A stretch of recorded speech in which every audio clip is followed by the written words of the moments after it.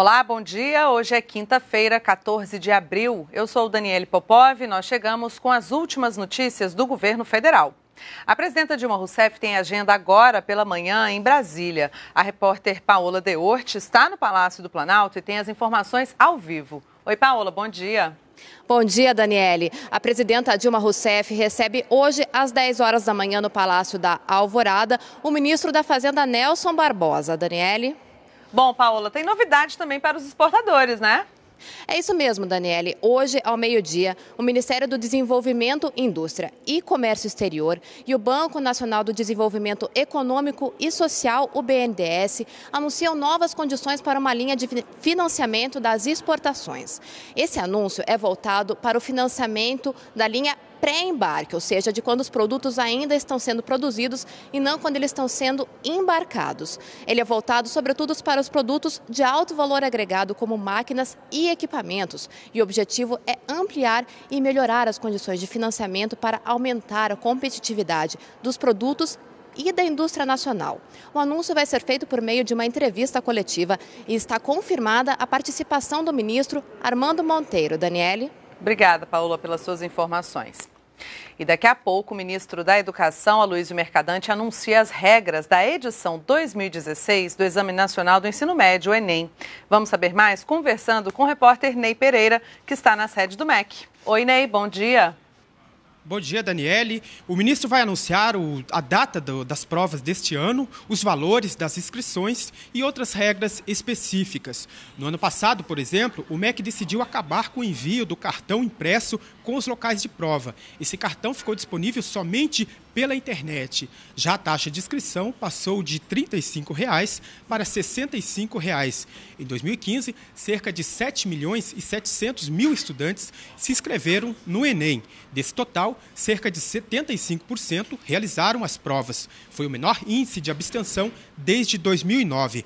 As notas do Enem podem ser usadas em programas como o SISU, o Sistema de Seleção Unificada, que oferece vagas em universidades públicas. O ProUni, Programa Universidade para Todos, que garante vagas em instituições particulares, o SISUTEC, para que oferece vagas em cursos técnicos profissionalizantes, o Fundo de Financiamento Estudantil, o programa Ciências Sem Fronteira, além da certificação do ensino médio. A coletiva será aqui na sede do MEC às 10h30.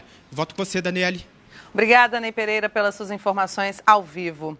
A Advocacia Geral da União derrubou a liminar concedida pela Sétima Vara Federal do Distrito Federal, que suspendia a posse do ministro da Justiça, Eugênio Aragão.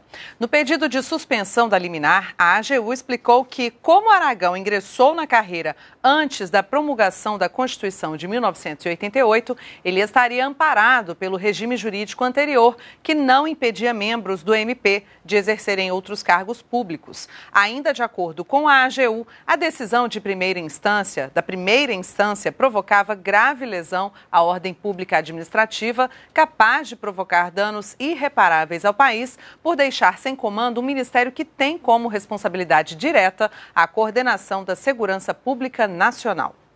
O cálculo da dívida pública dos estados com a União foi assunto de um encontro ontem entre o ministro da Fazenda, Nelson Barbosa, e o ministro do STF, Edson Fachin.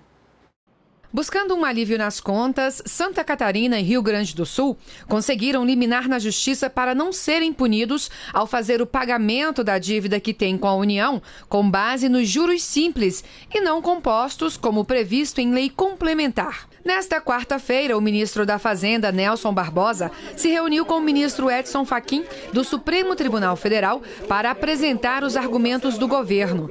E lembrou que já está no Congresso Nacional projeto de lei que vai ajudar a reduzir o custo da dívida pública dos estados. É uma saída que é por adesão, seja voluntária, cabe ao cada governador decidir é, se adere ou não. Aquilo promove um alongamento da dívida existente por 20 anos, porque na prática imediatamente já reduz o quanto o Estado é, paga, ou seja, dá um alívio de caixa para os estados, principalmente os estados que têm mais dificuldade agora. E também há uma outra, um outro auxílio de uma redução, mesmo essa após o alongamento, ainda uma redução adicional de 40% na prestação a ser paga nos próximos 24 meses, ainda do, dentro do mandato dos atuais governadores para também promover um alívio de caixa. A divergência entre estados e União está na fórmula adotada para calcular o saldo devedor dos governos. Os estados defendem que a correção seja feita pela taxa Selic acumulada, o que resultaria em juros simples. Já para o Ministério da Fazenda, deve ser usada a taxa Selic capitalizada, ou seja, juros compostos. Segundo o ministro da Fazenda, a União pode perder 313 bilhões de reais caso o STF mantenha o entendimento de correção por juros simples, quando julgar definitivamente o assunto. A pretensão do, do desses estados de, de modificar a sistemática né, de, de capitalização ou de acumulação dos juros de compostos para simples causa um rombo. Eu queria colocar que nesse momento que a economia brasileira passa, vários agentes, famílias, empresas, governos estão enfrentando dificuldades de caixa. Estão tendo uma receita menor do que se esperava. E com isso todo mundo tem que ajustar suas despesas. Está acontecendo com as famílias, está acontecendo com as empresas, está acontecendo com a União e também com os governadores. No caso dos governadores, a principal dívida que eles têm é com a União. E é por isso que nós oferecemos essa, esse, esse projeto de lei que no caso de uma relação entre governo estadual e governo federal, qualquer renegociação tem que passar pelo Congresso Nacional. O ministro Edson Fachin, do STF, afirmou que o assunto pode ser julgado pelo plenário do Supremo ainda este mês e que pretende intermediar o diálogo é, entre os estados e a União. Na próxima semana, por nossa sugestão, nós que já ouvimos os governadores e hoje ouvimos o ministro da Fazenda, vamos fazer aqui no Supremo Tribunal Federal, antes da apreciação pelo Pleno, eu irei mediar uma reunião entre o senhor ministro da Fazenda e os governadores governadores de estado, para que isso possa trazer elementos que sejam relevantes ao julgamento da matéria. Nós ficamos por aqui, voltamos às 11 horas com outras informações. Acompanhe as novidades do Executivo Federal também nas nossas redes sociais: twitter.com/tvnbr e facebook.com/tvnbr.